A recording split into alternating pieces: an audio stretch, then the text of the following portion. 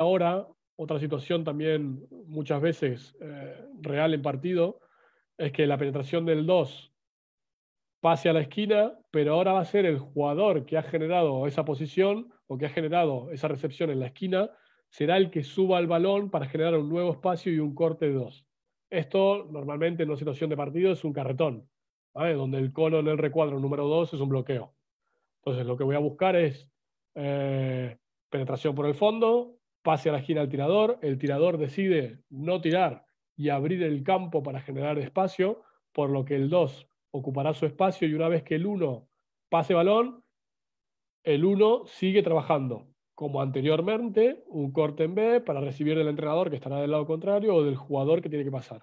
Y a partir de ahí, eh, buscar otra vez una penetración, un tiro, diferentes finalizaciones y tal.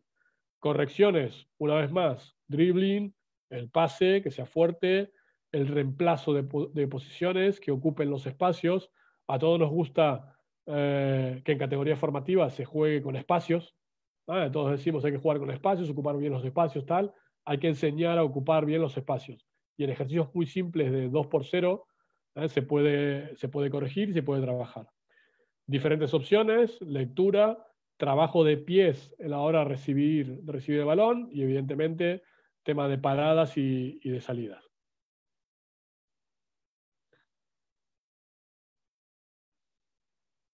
empieza. Penetración por el fondo, pase fuerte. Ahí ya el espacio estuvo muy mal porque tendría que haber recibido por el fondo. El pase no me gusta. Sigo jugando, pido y ahí tiro.